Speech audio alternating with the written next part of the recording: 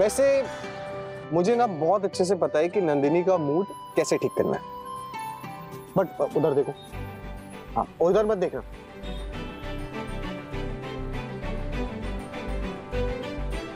This is for you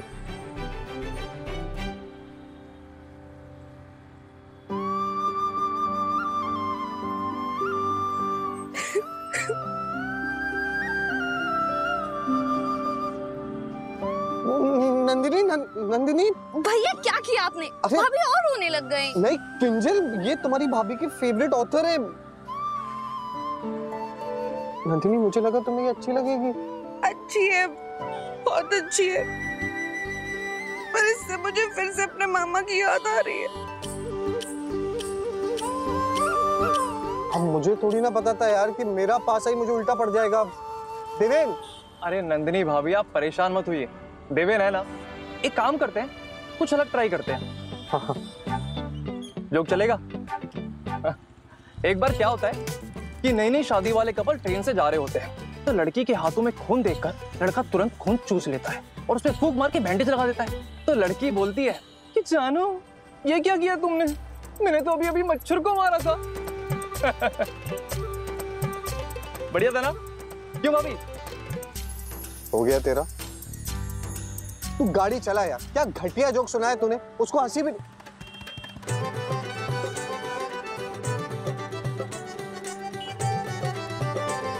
guys Nandini हंस दी इसे बोलते हैं जोक का कमाल। आई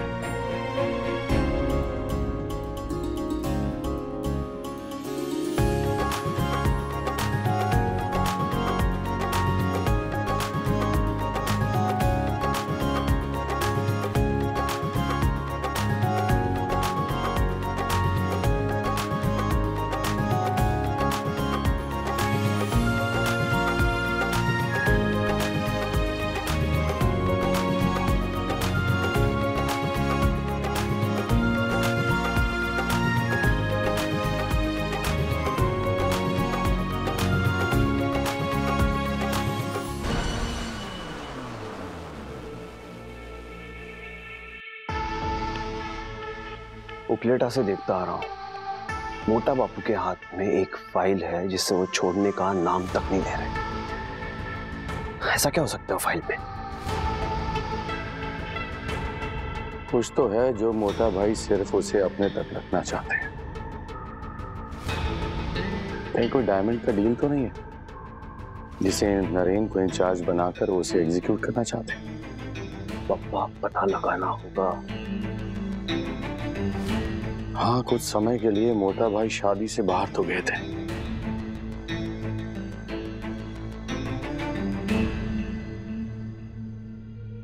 तो रुक, मैं देखता हूँ।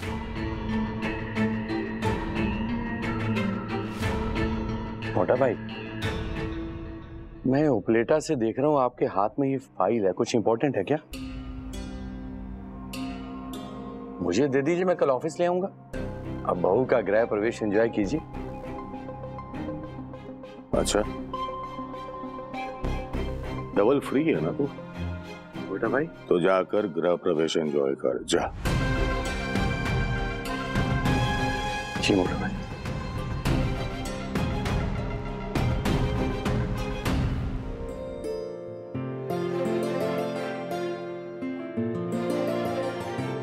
ऐसा घर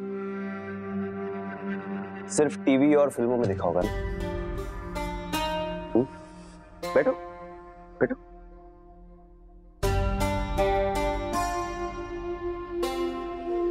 उपलेटा जाकर सबको बताना कि तुम्हारी बहन कितनी लकी है।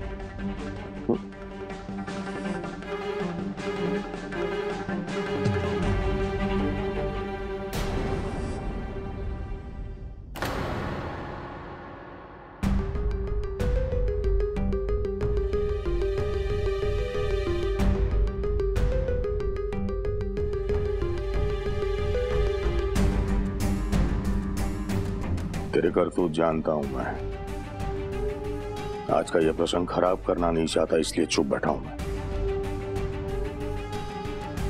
लेकिन कल सुबह आठ बजे तू मुझे मेरे रूम में चाहिए, समझा?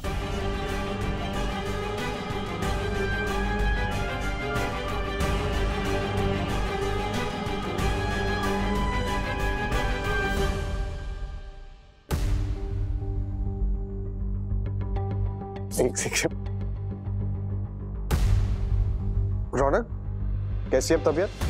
तबीयत? मेरी तबियत को क्या हुआ? है अरे मुझे बताया कि तुम्हारी तबियत इसकी तबियत एकदम ठीक है कुछ नहीं हुआ। कुछ कुछ सब। अरे पक्का। माँ नंदिनी को बात से मिलाए अरे हाँ भाभी इंतज़ार कर रही होंगी चलो। हाँ हाँ पर जाने से पहले ये हार वार फेटा बेटा उतार के जाना वरना बात तुझे पहचानेगी नहीं। वैसे बिल्कुल सही कहा चलो नंदू बेटा आपने। अरे यार उसे मदद कर देवेन। देवे निकाल यार। लेकिन जल्द निकाल दिया? हाँ निकाल। थैंक यू शांति दी जाए चलो बेटा ध्यान ये भी निकाल देता हूँ। अरे वाह। धीरे। आओ। हाँ। वाह बैठिए मैं कुर्सी देवे इसको उधर रख दे प्लीज़ हाँ थैंक यू बेटा? बा हम आपसे ही मिलने आ रहे थे। अरे बहू तू शादी में तो अच्छी भली पतली दिख रही थी। अब यह घर में आते ही क्या ये गाल बाल फूल गए मोटी हो गई? बा मैं किंजल हूँ। किंजल है? तो चल भाग यहाँ थी नरेंद्र बहू क्या से? बा आ रही आ, आ, आ, यहाँ। अरे वाह वाह हमारा नरेंद्र दुल्हनिया सुखी रे और पूतो फलो। बा सिर्फ़ आशीर्वाद ही देंगी कि अपने जादुई बक्से से कुछ निकाल के भी देंगी? हाँ ये बक्सा तो कब का खुल जाता। लेकिन किसी भी बहू में ऐसे लक्षण दिखे ही नहीं मुझे।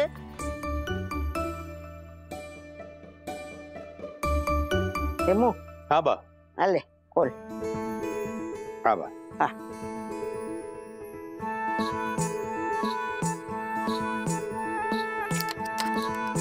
आज पता चलेगा कि बाघ के बक्से में है क्या हाँ, बराबर खोल जो आ, आ।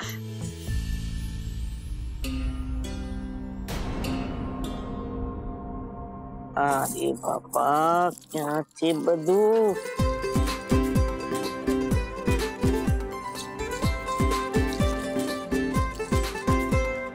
वाह खरू छे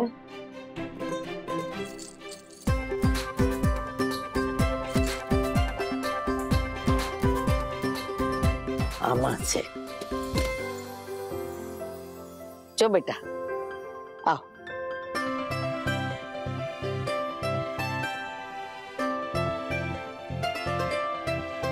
ले बेटा देख। आज से तू हमारे रतन से परिवार का हिस्सा है। तो इस घर का मान सम्मान बढ़ाना है तुझे। और इस घर के रस्म, रिवाज और बड़ों की आज्ञा का पालन भी करना है। हमारे घर में औरतों की सुंदरता दिखती है। आवाज़ सुनाई नहीं देती। इसलिए सजने संवरने पे ज़्यादा ध्यान देना।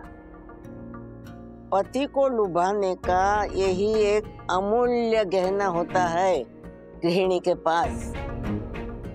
तो इसलिए ये साज और श्रृंगार करते रहना।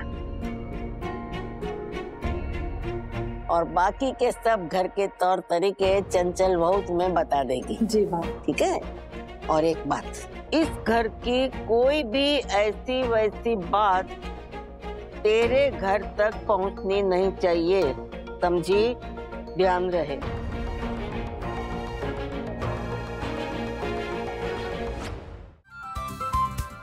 રૂબલી ક્યાં ખોવાઈ ગઈ છે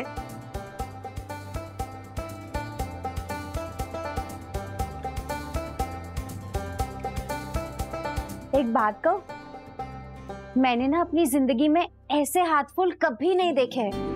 कितने सुंदर थे ना। सुंदर भी और महँगे भी। महँगे तो मेरे ये कड़े भी है और सुंदर भी है।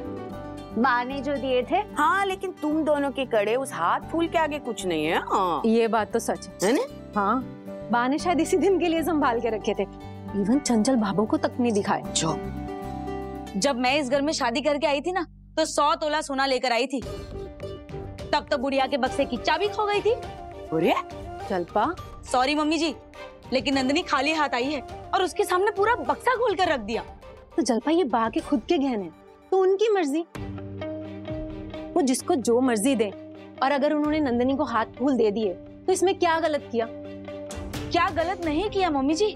गलत ये है कि जॉइंट फैमिली में सबको बराबर का मौका मिलना चाहिए, जो नहीं मिलता।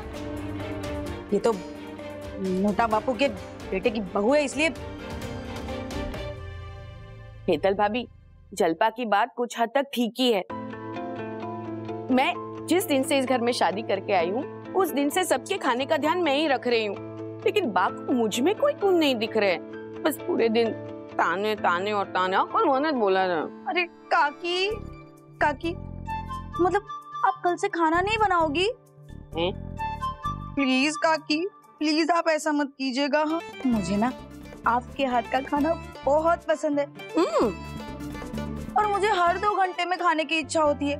देखिए ना मैं एक नहीं दो हूँ ना। अरे मैं खाना नहीं बनाऊँगी तो कौन बनाएगा गांडी हम्म? ये ले। वैसे काकी बुढ़िया ने चीटिंग कर दी आज। हम्म। ऊपर जाके पूर्वजों को क्या मुँह दिखाएगी? समता? हम्म, रूपा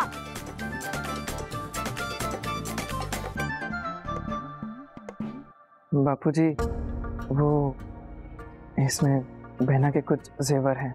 और मामा जी ने कुछ और सामान भी भेजा है। मितेश। सॉरी। मितेश मैं तुमसे जो बात करने वाला हूँ वो ज़्यादा इंपॉर्टेंट है। देखो मितेश तुम छोटे हो। तुम्हारे रीति रिवाज को आगे ले जाने की ज़िम्मेदारी तुम्हारे कंधों पर है। जब मेहुल और मामा इस घर में आए थे तो हमारे घर का पानी तक नहीं पिया था। और तुम तो रात रुकने वाले। तुम तो खाना भी पड़ेगा। और तुम तो अपनी बहन नंदिनी को जानती ही। अगर तुम्हें इन सबसे बचना है तो मेरी बात ध्यान से। बापूजी नंदिनी आपसे कुछ कहना चाहती है। हाँ हाँ बेटा। बेटा तुम्हें कुछ कहने के लिए नरेन की ज़रूरत पड़ती है? देखो एक बात समझ लो। जितनी जगह नरेन की मेरे दिल में है उतनी ही जगह तुम्हारे लिए मेरे दिल में है। बोलो दिल खोल के बोलो बेटा। बापू जी वो मैं कह रही थी कि मितेश अगर अभी निकलेगा तो घर पहुँचने में बहुत देर हो जाएगी। तो अभी के बजाय अगर वो सुबह जाए तो अरे बेटा तुम्हारे आने से पहले मैं मितेश को यही समझा रहा था। है ना मितेश? मितेश?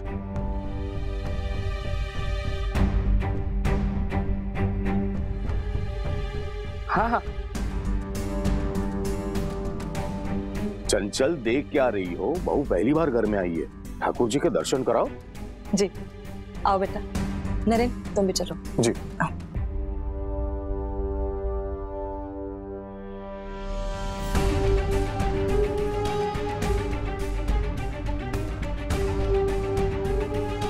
मेहुल का फ़ोन आया था ना। कुछ ज़रूरी बातें होगी। एक एक मिनट। कुछ भूल रहे हो तुम? सॉरी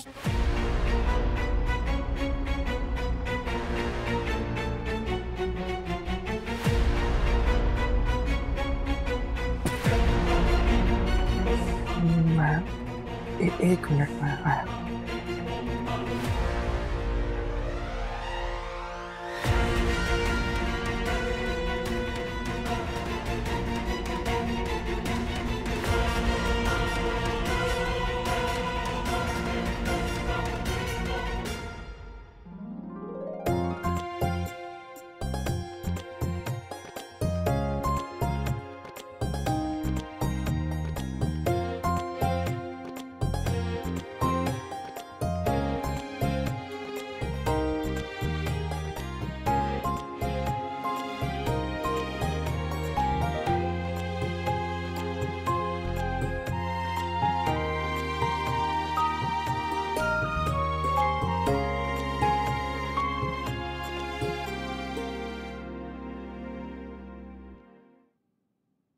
हाँ मेवल भाई। नितेश सुन। ए, नंदनी तो नहीं है ना आजू बाजू नहीं क्यों? क्या हुआ? हाँ तो तू एक काम कर फटाफट घर पे आ जा। मामा की तबीयत जरा खराब होगी। क्या? क्या? मामा मामा ठीक तो है ना? क्या हुआ मामा को? चिंता करने की बात नहीं है कोई ऐसी इमरजेंसी नहीं है पर तू तू घर पे आ जा बस। ठीक है मैं आ रहा हूँ। मितेश क्या हुआ? ऐसे यहाँ अकेले क्यों खड़े हो? कुछ नहीं।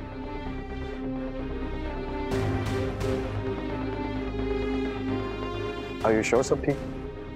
हाँ हाँ, सब सब ठीक है जीजू। मितेश बताओ मुझे क्या बात है? वो मुझे घर के लिए निकलना होगा। क्यों? अरे अभी तो नंदिनी ने बाबूजी से कहा कि अगर मितेश सुबह चला जाए तो कोई प्रॉब्लम तो नहीं।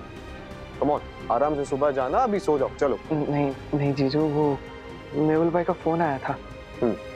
मामा जी की तबीयत खराब हो गई है। क्या? हाँ। मामा जी की? मैं अभी नंदिनी नहीं नहीं नहीं जीजू आप बहना को कुछ नहीं बताइए। उसे पता चलेगा तो वो बेचारी परेशान हो जाएगी। आप प्लीज़ एक बार बापूजी से बात कीजिए ना। मुझे अभी अभी निकलना होगा। प्लीज़। ठीक है। आओ मेरे साथ आओ। चलिए ईश्वर Kamaria.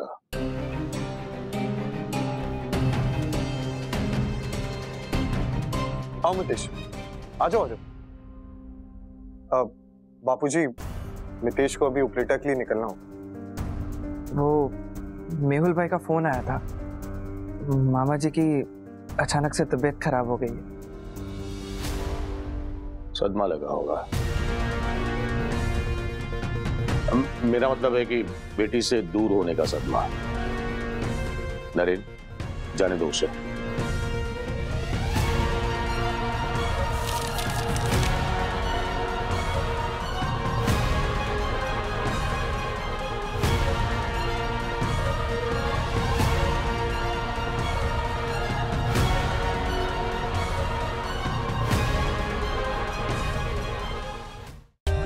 For more updates, subscribe to our channel, click the show links and enjoy watching the videos.